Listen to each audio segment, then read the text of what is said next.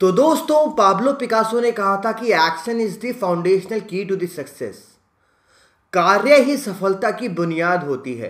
तो अगर आपको सफलता पानी है तो कार्य तो करना ही पड़ेगा। हेलो एवरीवन स्टडीएस में आपका स्वागत है और मैं हूँ आपका दोस्त आपका एजुकेटर अमन शर्मा और वापस आ गया हूँ द हिंदू की खबरों के साथ। आज डेट है नवंबर 10 2018 और डे है सैटरडे न्यूज़पेपर स्टार्ट करने से पहले आप सबके लिए एक सवाल और आज का सवाल कल के न्यूज़पेपर से लिंक करता है। आपको बताना है इनमें से कौन सी स्टेटमेंट नालसा के बारे में करेक्ट है? नेशनल लीगल सर्विसेज़ अथॉरिटी के बारे में इनमें से कौन सी स्टेटमेंट करेक्ट है? पहली स्टेटमेंट है कि NALSA is headed by a retired chief justice of India दूसरी स्टेटमेंट है कि नालसा एक स्टेट्यूटरी बॉडी है। यहाँ पे आपको जो ऑप्शंस हैं वो हैं A one only B two only C both या डी नन जल्दी से अपने अपने आंसर्स कमेंट बॉक्स में ड्रॉप कर देना और चलिए शुरुआत करते हैं आज के द हिंदू से। पर आज पेज नंबर वन से नहीं पेज नंबर एटीन से शुरुआत करूँगा। क्योंकि बहुत सारे यहाँ पे व्यूअर्स ऐसे हैं जो शुरू में वीडियो देखते हैं और पेज नंबर 18 तक नहीं पहुँच पाते। और वो महत्व नहीं समझ पाते हैं कि पेज नंबर 18 कितना ज़्यादा ज़रूरी है एग्ज़ाम पॉइंट ऑफ़ व्यू से। तो स्टार्ट करते हैं पेज नंबर 18 से। पहली खबर मिलती है don't compare air pollution to smoking से एक्सपर्ट्स आपने भी मीडिया रिपोर्ट्स में कुछ ऐसी चीज़ें सुनी होंगी कि अगर आप एक क्रैकर बर्न करते हैं तो वो इक्विवेलेंट है कि आपने हंड्रेड सिगरेट स्मोक कर ली। या इस तरीके की बातें भी होती रहती हैं कि हमारी जो एयर है, वो इतनी ज़्यादा पोल्यूटेड हो चुकी है कि कोई व्यक्ति अगर स्मोक भी नहीं करता है तो भी उसके ऊपर जो इफ़ेक्ट है वो उतना ही है जितना कोई व्यक्ति अगर स्मोक कर रहा है, कितनी स्मोकिंग कर रहा है। तो यहाँ पे स्मोकिंग को एयर पोल्यूशन की इक्विवेलेंट करके देखा जाता है, दोनों का ही कंपेरेटिव एनालिसिस किया जाता है। एयर पोल्यूशन को बार बार स्मोकिंग के साथ लिंक करके लोगों को समझाया जाता है। देखो, ये जो समझाने की प्रक्रिया है सही प्रक्रिया नहीं है। ऐसा कहना है, यहाँ पे एंटी टबैको एक्टिविस्ट का और यहाँ पे जो एक्सपर्ट्स हैं, उनका भी यही मानना है कि आप एयर पोल्यूशन को स्मोकिंग से कंपेयर कर रहे हो और जो लोग स्मोकिंग कर रहे हैं, उनको एक बहाना दे रहे हो ये कहने का कि बाहर हवा में तो पहले ही इतनी ज़्यादा स्मोक का धुआँ है जो कि लोग ले रहे हैं और हम अगर थोड़ी सी स्मोकिंग कर लेंगे तो उससे क्या इफ़ेक्ट होगा? तो यहाँ पे चीज़ों को जो समझाया जा रहा है, उनका आप कह सकते हो मकसद अच्छा है, पर जो समझाने का जो तरीका है, वो सही नहीं है ऐसा कहना है यहाँ पे एक्सपोर्ट्स का। एक्सपोर्ट्स ने कहना है कि यहाँ पे जो स्मोकर्स हैं, उनको हर चीज़ सही लगने लगी है। वो स्मोकिंग क्विट नहीं करना चाहते स्मोकिंग नहीं छोड़ना चाहते, और उनको एक तरीके का बहाना भी मिल गया है। पर उनको एक चीज़ समझनी पड़ेगी कि जो हेल्थ कॉन्सिक्वेंसेज हैं स्मोकिंग के, वो थाउजेंड्स टाइम्स ज़्यादा खतरनाक हैं एयर पोल्यूशन के हजारडस इफ़ेक्ट से।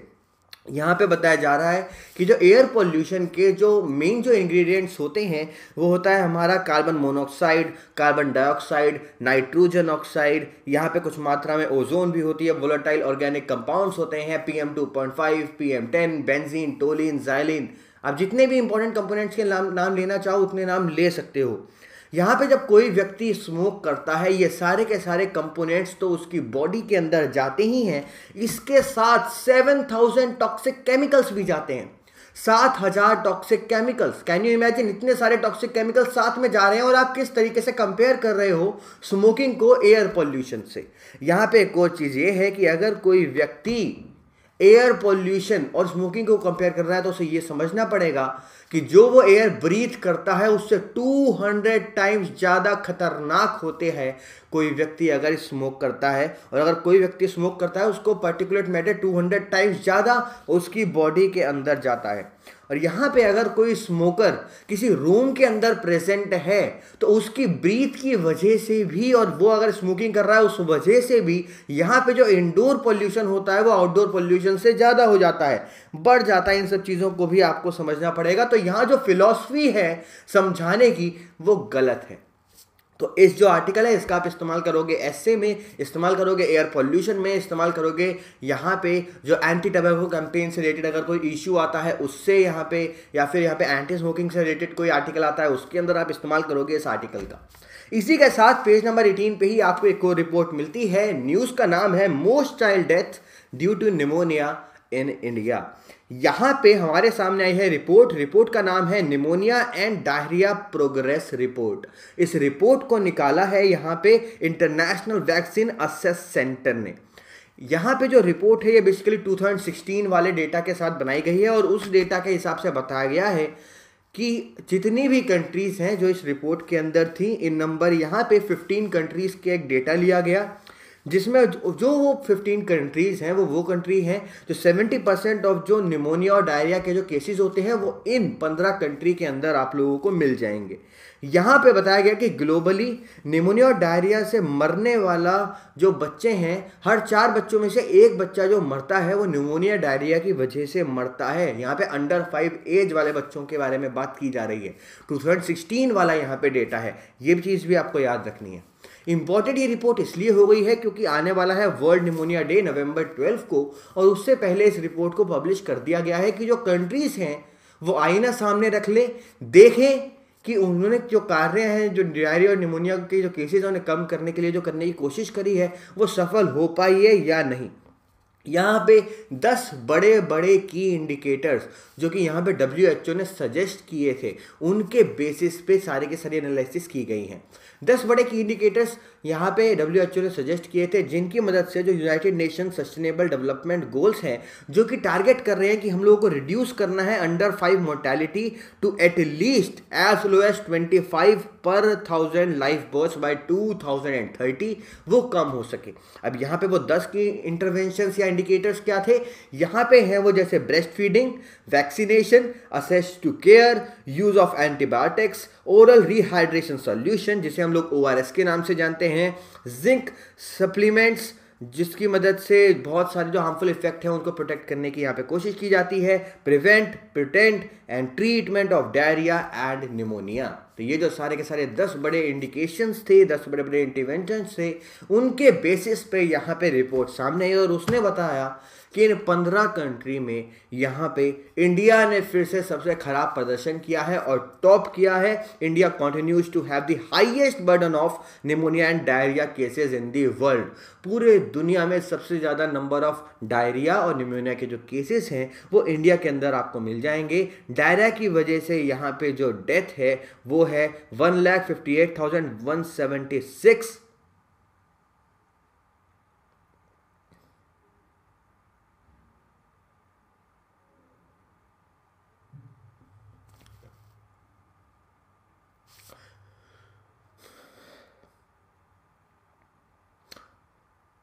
वो है one lakh two thousand and eight hundred thirteen और निमोनिया की वजह से जो डेथ केसेस हैं इंडिया के अंदर वो है one lakh fifty eight thousand one hundred seventy six यहाँ पे two thousand and sixteen year की बात की जा रही है। तो यहाँ पे जो निमोनिया और डायरिया से रिलेटेड एक रिपोर्ट हमारे सामने आई है और वो बता रही है कि क्या हम लोगों ने इम्प्रूवमेंट करी है?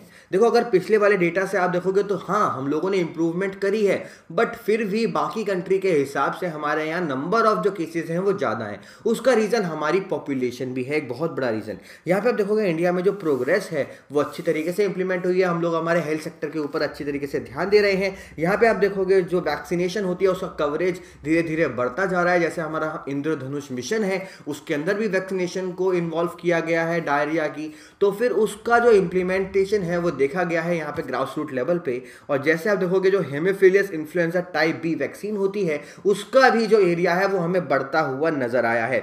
2017 के अंदर इंट्रोड्यूस किया गया था निमोनिकल कंजगेट वैक्सीन जो कि अभी सिर्फ़ छः स्टेट्स के अंदर है। और छः स्टेट्स में आप देखोगे, जो केसेस हैं निमोनिया के, वो कम होते हुए नज़र आए हैं। तो ये जो पर्टिकुलर टाइप ऑफ़ वैक्सीन है, इसको बहुत ही जल्द हमें बाकी सारे रीजन के अंदर भी इम्प्लीमेंट करना है। इसी के नीचे आपको एक और खबर मिलती है Indonesia Toraja tribe live among the dead यहाँ पे एक ट्राइब की बात हो रही है और यह ट्राइब इंपॉर्टेंट इसलिए हो जाती है कि इंडियन एशिया के अंदर बहुत सारे टूरिस्ट ऐसे हैं जो पर्टिकुलर इस ट्राइब का लिविंग स्टैंडर्ड किस तरीके से रहते हैं, किस तरीके से वहाँ पे बरियल एक्टिविटी होती है, अगर कोई व्यक्ति मर जाता है उसके साथ कौन कौन से राइट्स परफॉर्म किए जाते हैं, उसको देखने के लिए जाते हैं। तो टूरिस्ट डेस्टिनेशन बन चुकी है ये पर्टिकुलर ट्राइब उस ट्राइब का नाम है टोराजा ट्राइब कभी कभार ट्राइब के नाम पूछ लिए जाते हैं एग्जामिनेशन में तो आपको याद होना चाहिए कि टोराजा ट्राइब लिंक करती है इंडोनेशियन से। अब यहाँ पे जो ट्राइब है, इसका थोड़ा सा जो प्रोसेस है वो अलग है। अगर इस टाइप का कोई व्यक्ति मर जाता है तो उसको कफिन के अंदर कई महीनों तक उनके घर में ही रखा जाता है। एज अ इल पर्सन समझ के, कि वो बीमार है, इस तरीके समझ के उसको डेली खाना भी दिया जाता है, पानी या ड्रिंक्स भी दिए जाते हैं। और उसी तरीके से बिहेव किया जाता है जैसे वो व्यक्ति बीमार हो। और उसके बाद उसको कुछ महीनों बाद उसे बरी किया जाता है। तो ये पर्टिकुलर राइट्स हैं जो परफॉर्म किए जाते हैं इस ट्राइब के अंदर। और पहले तो यहाँ पे टी लीव्स और विनेगर का इस्तेमाल किया जाता था बॉडी को प्रिजर्व करने के लिए। बट अब यहाँ पे फॉर्मेलिटीआइड सॉल्यूशन का इस्तेमाल किया जाता है।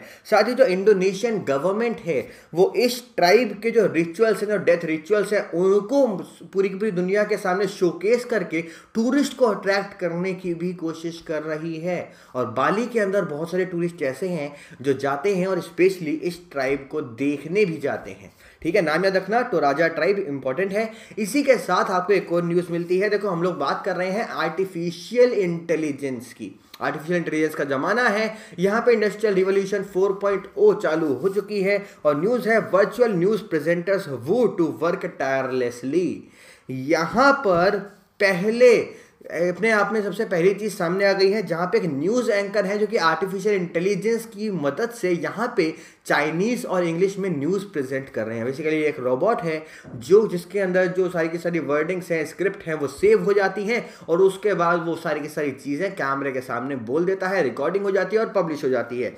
तो China unveils first world's A I anchor artificial intelligence से चलने वाला एक एंकर और इसको बेसिकली जिनजुआ की एक न्यूज़ एजेंसी है, उसकी एक यहाँ पे जो न्यूज़ है, उसके अंदर प्रेजेंट करता हुआ देखा। आप पिक्चर अपनी स्क्रीन पे भी देख सकते हो। तो पेज नंबर 18 की न्यूज़ यहाँ पे समाप्त तो आ जाओ पेज नंबर वन पे, यहाँ पे आपको खबर मिलती है Sirisena dissolve Sri Lanka parliament polls on January five Sri Lanka के अंदर जो पॉलिटिकल स्थिति है, वो बहुत ज़्यादा गड़बड़ हो चुकी है। वहाँ पर प्रेसिडेंट और जो फॉर्मर प्राइम मिनिस्टर हैं, उनके बीच में जो तनाव चल रहा था, वो बढ़ता हुआ नज़र आ रहा है। यहाँ पे पहले ही जो कॉन्स्टिट्यूशनल प्रोविजंस थे, उन्हें काफ़ी हद तक तोड़ा जा चुका था और अब एक और नई कॉन्स्टिट्यूशनल प्रोविजंस को तोड़ा जा चुका है। यहाँ पे फिर से एक्टिविस्ट और जो पॉलिटिकल एनालिसिस हैं, वो सामने आए हैं और अपनी अपनी बातें सामने रख रहे हैं कि कॉन्स्टिट्यूशन के हिसाब से कौन सही है और कौन गलत है। पहले आपको थोड़ा बैकग्राउंड देता हूँ, हुआ क्या था? देखो जो प्रेजिडेंट मित्रीपाल श्री सेना ने है उन्होंने उस समय पर प्राइम मिनिस्टर थे रनिल विक्रम सिंघे वो मेजोरिटी भी एंजॉय कर रहे थे पार्लियामेंट के अंदर। मेजोरिटी एंजॉय करने के बावजूद, क्योंकि उन दोनों के बीच में बात नहीं बन रही थी प्रेसिडेंट ने यहाँ पर prime minister Ranil Wickremesinghe को उनके पद से हटा दिया।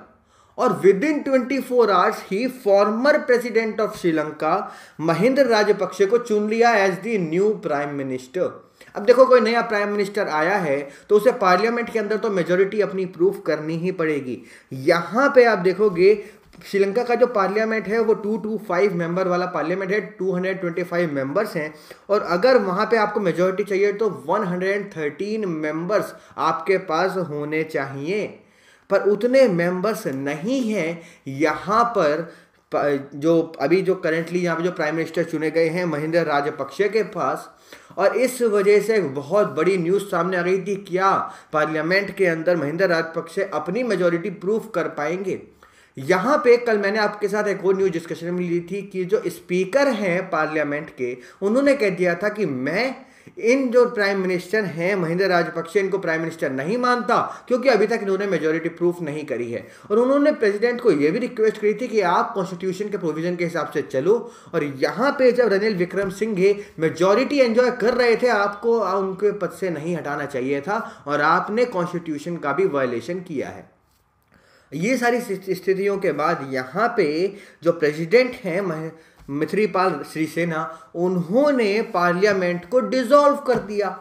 अब पार्लियामेंट को डिसॉल्व कर दिया तो फिर से क्या होगा? नए इलेक्शंस होंगे। क्योंकि उन्हें पता था कि जो उनकी जिस तरीके की साइड है, जिस साइड को वो सपोर्ट कर रहे हैं, वो पार्लियामेंट के अंदर अपनी मेजोरिटी प्रूफ नहीं कर पाएँगे।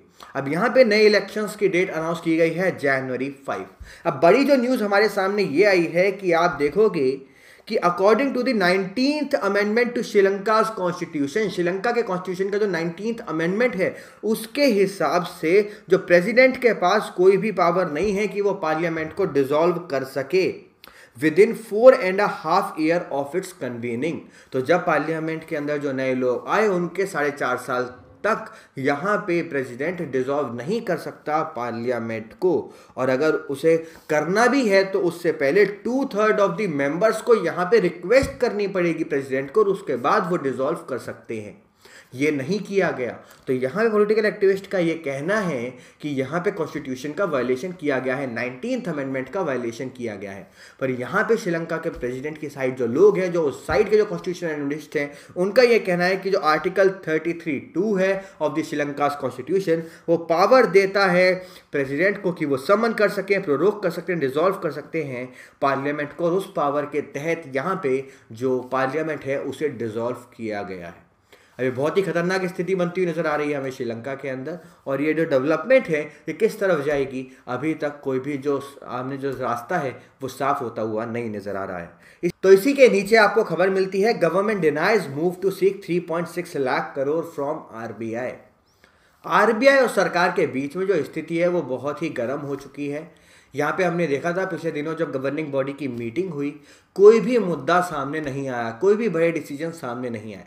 बल्कि यहाँ पे जो चीज़ सामने आई वो ये है कि सरकार चाहती है कि आरबीआई जो बहुत सारी चीज़ें कर रही है बैंक्स के ऊपर जैसे एनपीए के वजह से जो बहुत सारे सैंक्शन लगाए गए हैं प्रॉम करेक्टिव एक्शन वाले सैंक्शन लगाए हैं, कुछ बेसल नॉर्म्स वाले सैंक्शन लगाए हैं, उन सैंक्शन को रिलैक्सेशन प्रोवाइड किए जाए, ऐसा यहाँ पर सरकार चाहती थी। सरकार बहुत सारी ऐसी चीज़ें चाहती थी, पर यहाँ पर जो सबसे बड़ा मुद्दा था वो ये था, सरकार कह रही थी कि आरबीआई जो प्रॉफिट कमाती है, वो एज अ डिविडेंट ज़्यादातर सरकार के पास जाए। पर आरबीआई क्या कर रही है? पिछले दो साल में आरबीआई ने ये किया है कि जो प्रॉफिट आता है, उसमें से मैक्सिमम जो पैसा होता है, आरबीआई अपने ही कंटिजेंसी फंड के अंदर डाल देती है। पर यहाँ पे सरकार कह रही थी कि as a owner of the RBI वो पैसा एज अ प्रॉफिट हम लोगों को मिलना चाहिए। और आरबीआई को कंटिजेंसी फंड की ज़रूरत क्या है जब हम आरबीआई के ऊपर बैठे हैं? पर आरबीआई का सीधा सीधा ये कहना था कि अगर कोई प्रॉब्लम आ जाती है, उसके लिए आरबीआई के पास कुछ एमरजेंसी रिज़र्व होना भी ज़रूरी है। यहाँ पे उन दिनों आपने देखा होगा आरबीआई के डेप्यूटी गवर्नर विरल आचार्य जी ने इस चीज़ को बोला था कि गवर्नमेंट को आरबीआई को as a independent body work करते रहने देना चाहिए। अगर RBI as a independent body काम नहीं करेगी तो जो हमारी कंट्री की जो फाइनेंशियल स्थिति है, वो टर्मोइल वाली सिचुएशन में आ जाएगी, गड़बड़ा जाएगी। उसी से रिलेटेड कुछ मीडिया रिपोर्ट्स में ये आया था कि सरकार चाहती है कि आरबीआई उसको 3.6 लाख करोड़ रुपीस दे। या यहाँ पे कुछ वन लाख करोड़ रुपीस की भी बात कर रहे थे। अब उन सारी जो मीडिया रिपोर्ट्स थे, उनको दन दन किनार करते हुए यहाँ पे economic affair secretary Subhash Chandra Garg ji का एक यहाँ पे स्टेटमेंट सामने है, जिन्होंने बोला है कि हम लोगों को ऐसे किसी भी पैसों की ज़रूरत नहीं है। हम सिर्फ़ चाहते हैं कि आरबीआई और गवर्नमेंट के बीच में जो यहाँ पे पैसों का जो आदान प्रदान होता है, जो प्रॉफिट का गिव एंड टेक होता है वो किसी लॉ के द्वारा ही हो। यहाँ पे कुछ चीज़ों को सामने रखा जाए और यहाँ पे कुछ अप्रोप्रिएट इकोनॉमिक कैपिटल फ्रेमवर्क बनाया जाए सेंट्रल बैंक के अंदर कि सेंट्रल बैंक किस हिसाब से यहाँ पे डिविडेंड देगी सरकार को। तो यहाँ पे जो चीज़ें थी कि यहाँ पे सरकार पैसे चाहती है, उन सब चीज़ों को मना किया गया है। तो बेसिकली चीज़ यही है कि प्रपोजल दिया जाए कि सेंट्रल बैंक किस तरीके से ट्रांसफ़र करे अपना सरप्लस अपना प्रॉफिट यहाँ पे गवर्नमेंट एजेंसीज को। यहाँ पे हमारे इकोनॉमिक अफेयर सेक्रेटरी ने एक चीज़ को भी सामने रखा कि सरकार बिल्कुल सशक्त है कि जो हमारा फ़िज़िकल डेफिसिट का जो टारगेट है इस साल 3.3 परसेंट का, हम उसे अचीव करेंगे। और यहाँ पर सरकार ने बोला है कि हमने जो मार्केट बोराइंग होती है, उसको भी सेवेंटी करोड़ रुपीज़ से कम किया है। तो हम लोगों को अभी आरबीआई के पैसों की ज़रूरत नहीं है। पर हम यहाँ पे चाहते हैं कि आरबीआई के अंदर कोई फ्रेमवर्क हो कुछ कुछ पर्टिकुलर रूल्स और गाइडलाइंस के ऊपर काम हो, कि किस तरीके से जो पैसे हैं, जो प्रॉफिट है, उनको एज अ डिविडेंड के रूप में सरकार के पास ट्रांसफ़र किया जाए और कितना पैसा यहाँ पे उन कंटेंजेंसी फंड के अंदर या रिज़र्व फंड के अंदर आरबीआई रख सकती है। तो ये न्यूज़ थी तो चलिए आगे बढ़ते हैं। बढ़ते हैं पेज नंबर फाइव की तरफ़। नेशन वाला पेज है, यहाँ पे आपको खबर मिलती है army fire power get booster shot देखो 1980s में आखिरी बारी हम लोगों ने आर्टिलरी गन सिस्टम को हमारे देश की आर्मी के साथ इंडक्ट किया था। उसके बाद तीन दशक हो गए हैं थ्री डिकेट्स हो गए हैं। कोई भी इस तरीके का नया सिस्टम हमारी आर्मी के पास नहीं आया था। पर अच्छी खबर यह है कि अब पहला आर्टिलरी गन सिस्टम इस तीन दशक बाद हमारे देश के अंदर आ गया है और उनको फाइनली टेस्ट भी कर लिया गया है। Devlali field firing range Maharashtra के अंदर। यहाँ पे हम लोगों ने तीन इंपॉर्टेंट चीज़ों को इंडक्ट किया है। पहला है यहाँ पे M triple seven ultra light habits ये है यूनाइटेड स्टेट्स का, जो हमारे देश में लिया गया है। इसके साथ है K nine Vajra T self propelled artillery gun जिसको हमने साउथ कोरिया से लिया है। और आखिर में यहाँ पर हमारे पास कुछ एक और व्हीकल हैं जिनको हम लोगों ने हमारी आर्मी के साथ इंडक्ट किया है। सबसे पहले यहाँ पे कुछ बात कर लेते हैं M triple seven ultra light howitzer के बारे में। तो बेसिकली ये 155 एम mm की 339 कैलिबर टॉवर्ड आर्टिलरी गन है, जिसको बनाया गया है टाइटेनियम और एल्यूमिनियम एलॉय की मदद से। इसकी जो रेंज है वो 24 टू 30 किलोमीटर के आसपास की है depending on the ammunition use कि इस पर्टिकुलर व्हीकल के अंदर आप कौन सा एमिनेशन का इस्तेमाल करते हैं। ये ये जो पर्टिकुलर गन है, जो कि वेट करती है फोर टन्स की, उसको कैरी कर सकता है ट्रांसपोर्ट कर सकता है हेलीकॉप्टर्स के थ्रू और उसको हम लोग इसके अंदर इंडक्ट कर सकते हैं। देखो नवंबर 2016 के अंदर क्या हुआ था? इंडिया ने 737 मिलियन डॉलर की एक डील साइन करी थी यूनाइटेड स्टेट्स के साथ कि हमें 145 हॉबिट्सर चाहिए और उन 145 में से 20 तो हम लोग इंपोर्ट करेंगे, बाकी सब इंडिया के अंदर ही मैन्युफैक्चर किए जाएँगे। यहाँ पे 1980s में आखिरी बार आर्टिलरी गन को इंडियन आर्मी के अंदर इंडक्ट किया गया था। इसके साथ साथ जो के नाइन वज्र टी गन है, वो 155 M M fifty two calibrated self propelled artillery gun है जिसकी मैक्सिमम रेंज है 40 किलोमीटर की। बेसिकली ये वाली जो गन है K nine Vajra T gun इसका ज़्यादातर इस्तेमाल डेजर्ट वाली कंडीशन के लिए ही किया जाएगा और डेजर्ट वाली कंडीशन के लिए ही इसे डिज़ाइन भी किया गया है। इसकी जो डील थी वो 4,500 करोड़ रुपीज़ की डील थी 100 गन्स की डील थी जिनमें से टेन जो गन्स हैं उनको हम लोग इम्पोर्ट करेंगे बाकी हमारे देश के अंदर ही बनाई जाएँगी। इसके साथ साथ आर्टिलरी ट्रैक्टर्स को भी लिया गया है व्हीकल्स को लिया गया है। जो कि six into six field artillery tractor है, जिनको अशोक लेलैंड ने डेवलप किया है, जो कि रिप्लेस कर देंगी। हमारा ageing fleet Tatra artillery gun towering vehicle आपने देखी। बेसिकली हमारी जो इंडियन आर्मी है, उसका एक फ़ील्ड आर्टिलरी रैशनलाइजेशन प्लान था जो कि 1999 के अंदर आया था।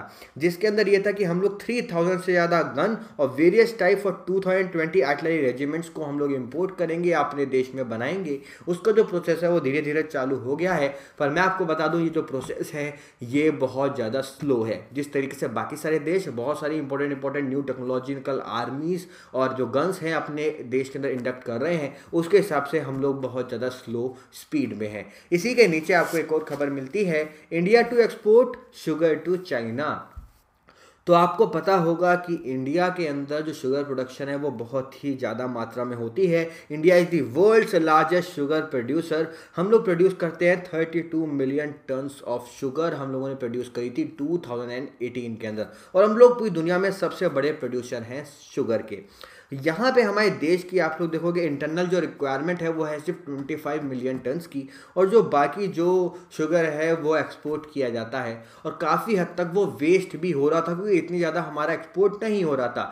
इसी वजह से हमारी गवर्नमेंट ने अभी रिसेंटली स्कीम्स के द्वारा इस चीज़ को भी बोला, ये शुगर मिल्स हैं, वो जो शुगर का जो वेस्ट है या जो शुगर है, उसको यहाँ पर इथेनॉल के अंदर ज़्यादातर बनाने का इस्तेमाल करे, जिसका इस्तेमाल यहाँ पर रिन्यूएबल एनर्जी के अंदर किया जाएगा। बट यहाँ पर एक अच्छी खबर यह है कि शुगर मिल्स को बूस्ट अप करने के लिए उनके जो सरप्लस स्टॉक्स हैं, उनसे उनका प्रॉफिट ज़्यादा बढ़ाने के लिए यहाँ पे रॉ शुगर को एक्सपोर्ट करेंगे हम लोग चाइना को अर्ली 2019 से। और यहाँ पे चाइना के साथ साथ इंडोनेशिया और मलेशिया के साथ भी जो एक्सपोर्ट है, वो हमारे 2019 के मिड के आसपास चालू हो जाएँगे। तो चाइना के साथ तो कन्फर्मेशन आ गया है, पर इंडोनेशिया और मलेशिया के साथ जो बातचीत है, वो अभी भी चालू है। यहाँ पे पहला कॉन्ट्रैक्ट मिला है fifty thousand ton of sugar का। जो कि चाइना ने यहाँ पे हम लोगों को इस तरह कॉन्टैक्ट दिया है कि हम लोग fifty thousand tons of sugar China को एक्सपोर्ट करेंगे। तो रॉ शुगर को हम लोग एक्सपोर्ट करेंगे और अभी तक हम लोग सिर्फ़ और सिर्फ़ जो नॉन बासमती जो राइस होती है, उसे एक्सपोर्ट करते थे चाइना को। अब यहाँ पे हम लोग रॉ शुगर भी एक्सपोर्ट करेंगे। देखो चाइना के साथ हमारा ट्रेड डेफिसिट चलता है जो कि सिक्सटी बिलियन डॉलर का है, वो भी कम हो जाएगा अगर हम लोग शुगर को यहाँ पे एक्सपोर्ट करेंगे चाइना को। तो इम्पोर्टेंट खबर है कि हम लोग अब रॉ शुगर को भी एक्सपोर्ट करने वाले हैं। तो इसी के नीचे आपको खबर मिलती है no double jeopardy bar if there was no trial यहाँ पे बात हो रही है आर्टिकल 20 की, हमारे इंडियन कॉन्स्टिट्यूशन के आर्टिकल 20 की अपनी अपनी लैंग्वेज में आर्टिकल 20 कमेंट बॉक्स में ड्रॉप करना। कॉपी पेस्ट मत करना। जो आप समझे हो, उसको नीचे लिखना। आर्टिकल 20 बेसिकली तीन बड़े बड़े क्लॉजेस से डील करता है। पहला क्लॉज है ex post facto criminal legislation वाला, दूसरा है डबल जियोपार्डी और तीसरा है सेल्फ इंक्रिमिनेटिंग एविडेंस से लिंक करते हुए। हम लोग बात करेंगे आर्टिकल 22 के बारे में, जो कि डील करता है डबल जोपार्डी से। डबल जोपार्डी का मतलब ये होता है कि किसी भी क्राइम के लिए किसी भी व्यक्ति को दो बार सजा नहीं मिल सकती है। किसी को दो बार सजा नहीं दी जाएगी। उसी से रिलेटेड यहाँ पे आर्टिकल आया है। आर्टिकल 22 कहता है it mandates that a person can not be prosecuted और punish twice for the same offence एक ही ऑफेंस के लिए दो बार किसी भी व्यक्ति को पनिशमेंट नहीं दी जा सकती है। बट यहाँ पे जो केस है, वो थोड़ा सा अलग है। यहाँ पे क्या हो रहा है, अगर मान लो किसी जज ने किसी को सज़ा सुनाई, और वो जो सज़ा है, वो उसे गलत सुना दी, ठीक है? गलत ऑफे गलत यहाँ पे सज़ा सुना दी थोड़ी सी कम सज़ा सुना दी तो क्या वो जज उस पर्टिकुलर सज़ा को रिपीट कर सकता है, बढ़ा सकता है अगली बार? तो ये एक बड़ा सवाल था। तो यहाँ पे इस सब चीज़ों को एक ये जजमेंट है 2015 वाला जजमेंट है, उससे डील करते हुए ये खबर थी और फाइनली जो न्यूज़ हमारे सामने आई है वो ये है कि यहाँ पे अगर कोई भी गलती हो जाती है तो उसको करेक्ट करने के लिए जो सज़ा है उसको फिर से सुनाया जा सकता है अपनी गलती को करेक्ट करने के लिए। ओके? और ये आर्टिकल 22 के अंदर डबल जियोपार्डी का पार्ट नहीं होगा। ऐसा यहाँ पे कह दिया एक जजमेंट ने, जो कि बेस है on the appeal of filed by the state of Mizoram against the order passed by the Guwahati High Court in August 2015 तो अगस्त 2015 में इसने क्या था अपहोल्ड किया था स्पेशल कोर्ट का डिसीज़न जिसने डिक्लाइन कर दिया था, मना कर दिया था कि हम लोग सेकेंड चार्जशीट को या फिर से एंटरटेन नहीं करेंगे, जो करप्शन चार्जेस हैं, उनको फिर से अप्लाई नहीं करेंगे। ठीक है तो यहाँ पे आर्टिकल था। तो इसी के साथ आपको न्यूज़ मिलती है new team of wildlife experts to probe killing of tiger सवनी तो टाइगर सवनी को महाराष्ट्र के फॉरेस्ट डिपार्टमेंट द्वारा यहाँ पे मारा गया। क्योंकि जो टाइगर सवनी थी, उन्हें as a man eater declare कर दिया था, उसने तेरह लोगों की जान ले ली थी। जब भी किसी टाइगर को टाइगरस को यहाँ पे मैन ईटर डिक्लेयर कर दिया जाता है तो यहाँ पे अथॉरिटीज़ को एक राइट मिल जाता है कि वो उसे मार सकते हैं और उनके ऊपर कोई भी क्रिमिनल एक्टिविटीज़ वाला लॉ नहीं चलेगा under the wildlife protection act of nineteen पर उन सब चीज़ों के बाद यहाँ पर सवाल खड़े हो गए। जब यूनियन मिनिस्टर मेनिका गांधी, जो कि एक एनिमल एक्टिविस्ट हैं, उन्होंने बहुत बड़े बड़े सवाल खड़े कर दिए कि क्या सर्कमस्टेंसेस थे, क्या कंडीशन थी जिसके अंदर यहाँ पर टाइगर सपनी को मारा गया और उसको प्रोटेक्ट करके किसी सेफ़ एनवायरनमेंट में नहीं भेजा गया या उसको सही यहाँ पर रिहेबिलिटेशन प्रोवाइड नहीं किया गया। उन सब सवालों के बीच में यहाँ पर नेशनल टाइगर कंजर्वेशन अथॉरिटी ने थ्री मेंबर कमेटी को कॉन्स्टिट्यूट करने का फैसला कर लिया है, जो कि इन्वेस्टिगेट करेंगे प्रोप करेंगे, चीज़ों को देखेंगे और सरकार को एक्सप्लेन भी करेंगे कि क्या स्थिति थी, क्या सर्कमस्टेंसेस थी, जिनके अंदर यहाँ पे टाइगर सवनी को मारा गया। यहाँ पे आपको एक और चीज़ याद रखनी है, कुछ चीज़ें हैं एनटीसीए के बारे में नेशनल टाइगर कंजर्वेशन अथॉरिटी के बारे में। दिसंबर 2005 में नेशनल टाइगर कंजर्वेशन अथॉरिटी को स्टैब्लिश किया गया on the recommendation of tiger task force tiger task force को यहाँ पे हमारे प्राइम मिनिस्टर ने इस्टेब्लिश किया था उस समय प्रोजेक्ट टाइगर की देख रेख रखने के लिए। याद रखना, जो नेशनल टाइगर कंजर्वेशन अथॉरिटी है, वो एक स्टेटूटरी बॉडी है। वर्क करती है under the wildlife protection act of 1972 देखो वाइल्ड लाइफ प्रोटेक्शन एक्ट जो है, उसके अंदर 2006 के अंदर एक अमेंडमेंट लाया गया था और उस अमेंडमेंट के अंदर इस्टेब्लिश किया गया एनटीसीए को। जो एनटीसीए के जो चेयरमैन होते हैं, वो होते हैं हमारे minister of environment and forest आज की डेट में तो minister of environment and forest and climate change हो चुके हैं। तो चलिए आगे बढ़ते हैं। तो बढ़ते हैं पेज नंबर एट की तरफ़। न्यूज़ वाला पेज है, आपको खबर मिलती है not in direct talk with Taliban says ministry of external affairs तो यहाँ पे जो मॉस्को फॉर्मेट वाली जो मीटिंग है, जो कि चल रही है, जहाँ पे तालिबानी ग्रुप के साथ 12 कंट्रीज़ को इनविटेशन दिया। मैं कल मैंने आपके साथ डिस्कशन में लिया था कि इंडिया का जो स्टैंड है, जो फॉरेन पॉलिसी है, उसको कहीं ना कहीं चेंज करते हुए इंडिया ने अपने दो डिप्लोमेट्स को यहाँ पे भेजा मॉस्को फॉर्मेट के अंदर बातचीत करने के लिए।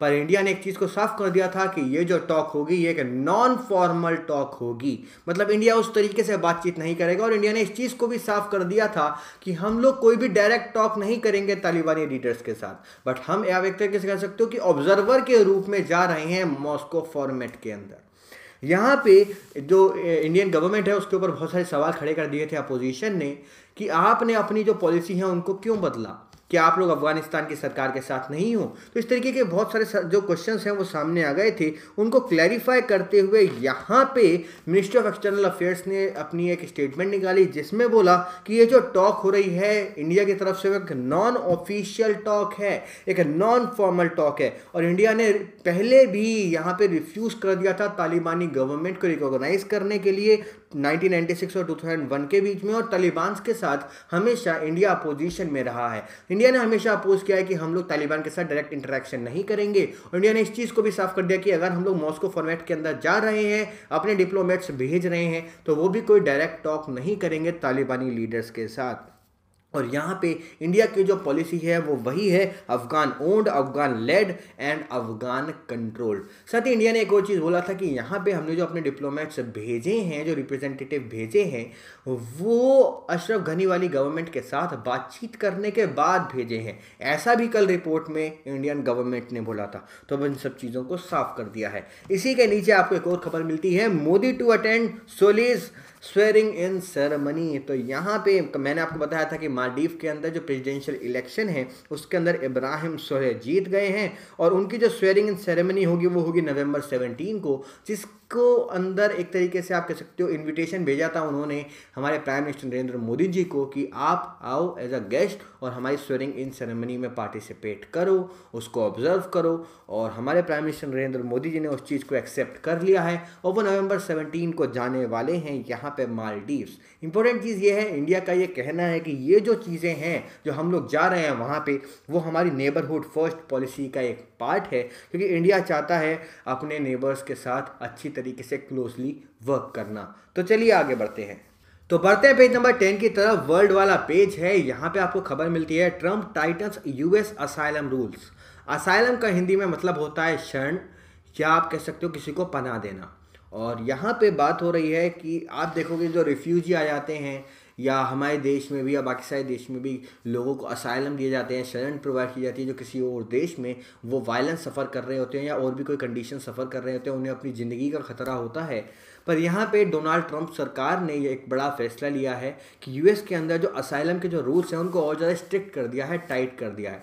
उसका रीज़न ये है कि मैं पिछले कुछ दिनों पहले मैंने आपके साथ एक चीज़ डिस्कशन ली थी कि जो सेंट्रल अमेरिकन जो नेशंस हैं, चाहे वो यहाँ पे गोटेमेला हो एल सेल्वाडोर हो, या हेडोस हो, उनके अंदर से बहुत सारे लोग हैं जो कि मैक्सिको के अंदर आ गए और मैक्सिको के अंदर आके कार्बन बना लिया। उन्होंने बहुत यहाँ पे हजारियों की तादाद में लोग हैं जो कि पैदल चलते हुए यूएस बॉर्डर तक आए जा रहे हैं और ज़बरदस्ती यहाँ पे यूनाइटेड स्टेट्स में घुसने की कोशिश कर रहे हैं। उन लोगों का ये कहना है कि उनके देश में यहाँ पर बहुत ज़्यादा वायलेंस होता है, वहाँ पर ह्यूमन राइट्स का वायलेशन होता है इक्वलिटी बिल्कुल नहीं मिलती है, वहाँ पर जॉब्स नहीं है एम्प्लॉयमेंट नहीं है, लोग पॉवर्टी वाली कंडीशन में जी रहे हैं, इसलिए वो लोग यहाँ पर अपने देश को छोड़कर किसी और देश में जाकर बसने की कोशिश कर रहे हैं।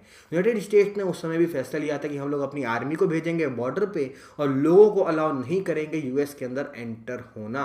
बट फाइनली उन सब चीज़ों को और ज़्यादा टाइट करते हुए यूएस ने फैसला लिया है कि यहाँ पे जो अजाइलम के जो रूल्स होते हैं, उनको और भी ज़्यादा टाइट किया जाएगा। याद रखना 1951 के जो रिफ्यूजी जो कन्वेंशन है, उसका पार्ट है यूएस ओके यूएस को उसकी भी सारी की सारी चीज़ों को फॉलो करना होता है। इसके साथ साथ आप देखोगे अगर यूएस इन सब चीज़ों को अप्लाई करता है, पर यहाँ पे और भी सारे कुछ राइट्स होते हैं रिफ्यूजीज़ के, उनको भी पालन करना पड़ेगा यूनाइटेड स्टेट्स का। जैसे यूएस कह सकता है कि उनको ग्रीन कार्ड नहीं मिलेगा, पर वो लोग आके कुछ दिनों के लिए रह सकते हैं। देखो, एक चीज़ और है यूएस तब तक डिपोर्ट नहीं कर सकता किसी और कंट्री में, जब तक उस कंट्री के साथ यूएस का एग्रीमेंट ना हो।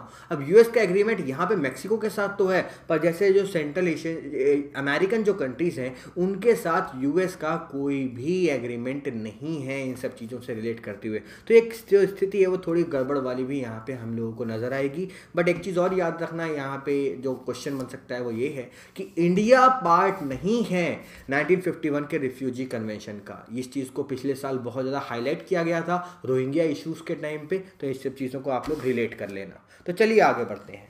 आगे आपको जाना पड़ेगा पेज नंबर इलेवन की तरफ़। बिज़नेस वाला पेज है, आपको खबर मिलती है credit growth at five year high यहाँ पे बताया गया है कि हमारे देश में जो प्राइवेट इन्वेस्टमेंट है, वो बढ़ती हुई नज़र आई है। जो लोन ग्रोथ है कमर्शियल बैंक्स की, वो बढ़ती हुई नज़र आई है। पिछले पाँच साल में पहली बार। जो ग्राफ्स हैं, वो आप अपनी स्क्रीन पे देख सकते हो। देखो, जो year on year credit growth है अक्टूबर ट्वेंटी 2018 को वो 14.6 परसेंट थे। ईयर ऑन ईयर ग्रोथ की हम लोग बात कर रहे हैं मतलब पिछले साल से इस साल कितनी ज़्यादा ग्रोथ में वेरिएशन आया है। इससे पहले 2013 के अंदर जो क्रेडिट ग्रोथ थी, वो 16.6 परसेंट थी। यहाँ पे आप देख सकते हो जो क्रेडिट ग्रोथ है, वो ब्रॉड बेस्ड रही है। यहाँ पे जो लोन डिमांड है, वो बढ़ती हुई नज़र आई है। और खासकर जिस तरीके से हमारे देश में रोड प्रोजेक्ट्स चल रहे हैं तो रोड प्रोजेक्ट्स वाले या इंफ्रास्ट्रक्चर वाले सेक्टर में यहाँ पर जो इन्वेस्टमेंट है, वो बढ़ती हुई नज़र आई है। ऐसा भी रिसेंटली अभी हम लोगों ने क्रिसिल की भी एक रिपोर्ट डिस्कशन में ली थी, क्रिसिल का इंफ्रा इंडेक्स उसके अंदर भी सेम बात की गई थी, जो कि इस रिपोर्ट ने यहाँ पे प्रेजेंट करी है। एक चीज़ और याद रखना, यहाँ पे एक और चीज़ बताई है कि जिस तरीके से दो कॉन्जिक्यूटिवली यहाँ पे जो रेट्स हैं वो बढ़ते हुए नज़र आए after the R B monetary policy committee उसके बाद जो अभी जो रिसेंटली हुई थी, उसके अंदर जैसा था, वैसा ही रखा गया चेंज नहीं किया गया, पर यहाँ पे कैलिब्रेटेड टाइटनिंग को अनाउंस किया गया कि यहाँ पे एक्सपेक्टेशन ये है कि हम लोग पॉलिसी रेट्स को नीचे तो नहीं करेंगे, या तो जितने हैं वही रहेंगे, या वो हमें बढ़ते हुए नज़र आएँगे। इसके साथ साथ अभी हम लोग देखते हैं कि जो एसबीआई है, उसने भी अपने जो वन ईयर जो marginal cost of fund based lending rates होते हैं, जिसे हम लोग एमसीएलआर के नाम से जानते हैं, उनको भी बढ़ा दिया था बेंचमार्क से एक से फिफ्टी बेसिस पॉइंट से मार्च फ़र्स्ट को। तो इस सारी की सारी चीज़ों को ध्यान में रखते हुए हम लोग कह सकते हैं कि जो ग्रोथ है, वो अच्छी होने वाली है। इसी के नीचे आपको एक और खबर मिलती है। Easing sabotage has not led to cut in coastal shipping rates यहाँ पे बात हो रही है कैबोटेज की। अब ये कैबोटेज होती क्या है? देखो, जो हमारी देश की जो इंटरनल शिपिंग इंडस्ट्रीज़ होती हैं, जो इंटरनल शिपिंग का आदान प्रदान होता है, एक पोर्ट से हमारे देश में दूसरे पोर्ट पे कोई सामान जाता है, उसको हम लोग कैबोटेज के अंदर लेते हैं। देखो मे ट्वेंटी को यहाँ पे कुछ जो कैबोटेज के जो लॉज हैं, उन्हें रीस्ट्रक्चर किया गया था। पहले क्या होता था, जो फॉरन रजिस्टर्ड व्हीकल्स होते थे, उनको अलाउ नहीं किया जाता था कि वो हमारे देश में ही एम टी यहाँ पे वेसल्स हों या भरे हुए यहाँ पे वेसल्स हों, उनको ले जाकर एक पोर्ट से दूसरे पोर्ट में ट्रांसफ़र कर सकें। ठीक है, जो फॉरेन व्हीकल्स थे, उनको रजिस्टर नहीं किया जाता था। पर May twenty first two thousand eighteen को इस चीज़ को अनाउंस किया गया और यहाँ पे रिलैक्सेशन प्रोवाइड की गई कि यहाँ पे जो फॉरेन रजिस्टर्ड व्हीकल्स हैं, वो भी हमारे देश की जो इंटरनल शिपिंग इंडस्ट्री है, उसके अंदर पार्टिसिपेट कर सकते हैं। सरकार ने उस समय बोला था कि इसका बहुत ज़्यादा फ़ायदा होने वाला है और भी बहुत सारी चीज़ें बोली थी कि यहाँ पर रिलैक्सेशन के बाद गवर्नमेंट का जो मूव था, जो शिपिंग के जो रेट्स हैं, वो हमें कम होते हुए नज़र आएँगे। क्योंकि सरकार का मानना था कि अगर फॉरेन इंडस्ट्रीज़ के जो लोग हैं, वो यहाँ पे पार्टिसिपेट करेंगे इंडियन की शिपिंग इंडस्ट्री के अंदर तो यहाँ पे कंपटीशन बढ़ेगा। और जब कंपटीशन बढ़ता है तो जो रेट्स हैं वो कम हो जाते हैं। पर यहाँ पे Indian national ship owners association ने चीज़ों को साफ़ करते हुए बोला है डिस्प्यूट किया है। यहाँ पे सरकार के जो क्लेम्स हैं, उनके साथ और बोला है, जो लॉजिस्टिक कॉस्ट है, जिसे कम करने की यहाँ पे कोशिश की जा रही थी, वो नहीं कम हुई है। यहाँ पे कंज्यूमर तक कोई भी बेनिफिट नहीं पहुँच पाया है। और जो आप मेजर मेजर चीज़ें देखोगे, उनमें कोई भी बेनिफिट होता हुआ हम लोगों को नहीं नज़र आया है। आईएनएसए ने एक और बात की थी कि जो फॉरन वेसल्स होते हैं, उनके ऊपर जीएसटी भी अप्लाई नहीं होता तो इस चीज़ का नुकसान ऊपर ऊपर से उन्हें कुछ पर्टिकुलर टाइम पीरियड के लिए वेव ऑफ़ भी दिए गए हैं। उन्होंने कुछ फ्री सर्विसेज़ भी प्रोवाइड की गई हैं, जिन, जिन्होंने कुछ भी यहाँ पे रिडक्शन नहीं किया है कोस्टल शिपिंग रेट्स के अंदर। तो इन सब चीज़ों को साफ़ कर दिया है Indian national ship owners association ने। देखते हैं इसके ऊपर क्या डेवलपमेंट होती है, सरकार इसका जवाब किस तरीके से देती है। क्या कोई नई रिपोर्ट सामने आती है या कुछ डेटा हमारे सामने आते हैं? आज के न्यूज़पेपर में बस इतनी ही खबरें थी। कैसा लगा आपको मुझे बताना? बिल्कुल मत भूलना। जाते जाते लाइक का बटन दबा देना। और अगर मेरी वीडियो आपको थोड़ी सी भी हेल्प करनी है तो प्लीज़ वीडियो को शेयर करके ज़्यादातर लोगों में फैलाने की कोशिश करें। आज की वीडियो का एंड करते हैं। So thank you for having me here guys and have a good day ahead